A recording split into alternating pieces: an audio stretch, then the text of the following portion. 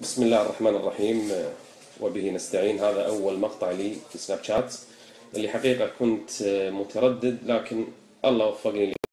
للأسف سجلت تقريبا عشر مقاطع قاعد أتدرب على سناب شات اكتشفت بعدين أن ولا واحدة منهم تم إرسالها راح أعيدها مرة ثانية.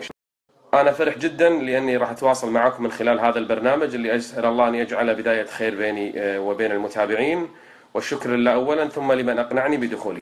يمكن أنا في تويتر كنت منذ البدايات موجود فيه وكذلك إنستغرام لكن تأخرت عن سناب شات لظروف وانشغالي في أمور كثيرة لكن لعل خير إن شاء الله. عموما يا أحبة ترى وسائل التواصل الاجتماعي هي تواصل اجتماعي يعني يفترض أن نذكر فيها شيء في خير إما في ديننا أو على الأقل في دنيانا. ولهذا لو تلاحظون أغلب الناس الذين يتوفاهم الله الناس وين ترجع؟ ترجع لوسائل تواصلهم الاجتماعي تويتر إنستغرام وغيره يبي يشوفون شنو كان عليه هذا الإنسان علشان نشهد له.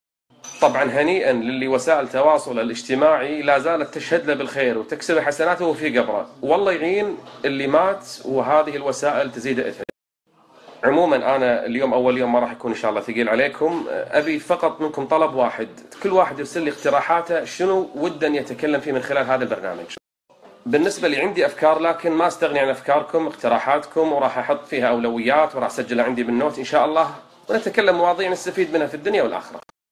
إذا الله أحيانا بكرة بإذن الله عز وجل راح نبدأ وياكم أول موضوع أول اقتراح من اقتراحاتكم ولنا موضوع كل يوم ولقاء كل يوم بإذن الله.